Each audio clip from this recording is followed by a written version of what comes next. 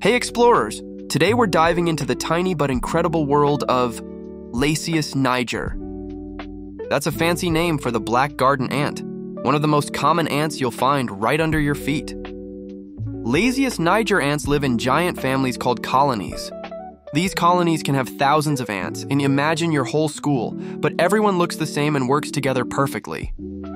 At the heart of the colony is the queen ant. She's the biggest ant, and her job is super important. She lays all the eggs, which means she's basically the mom of the whole colony. These ants love sweet things.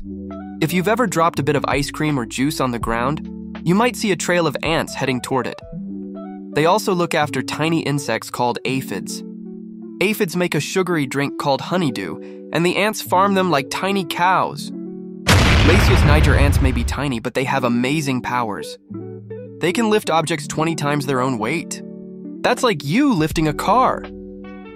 They use their antennae to talk, kind of like wiggly walkie talkies. They leave invisible scent trails so other ants know exactly where to go.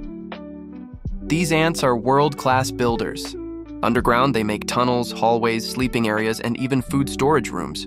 The nest keeps them safe from rain, predators, and cold weather.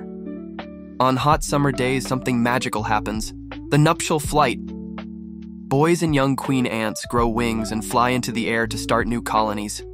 After the flight, the new queen digs her own tiny hole in the ground and begins a brand new family.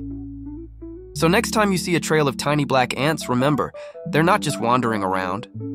They're farming, building, talking, exploring, and working together every single day. Lasius niger ants may be small, but they have big stories to tell. Thanks for exploring with Kearney's Critters. Want to learn more tiny world secrets? Follow for more cool creature facts.